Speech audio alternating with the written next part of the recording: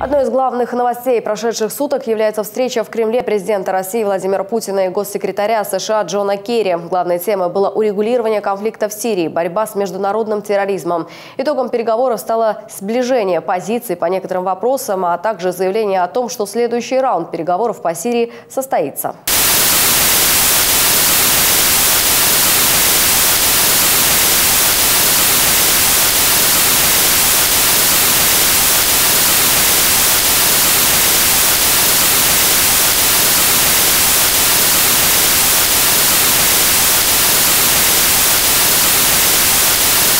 Стороны, в частности, условились продолжать работу по формированию списка групп, которые будут представлять на мирных переговорах сирийскую оппозицию, единодушно исключив из него ИГИЛ и фронт Ан-Нусра.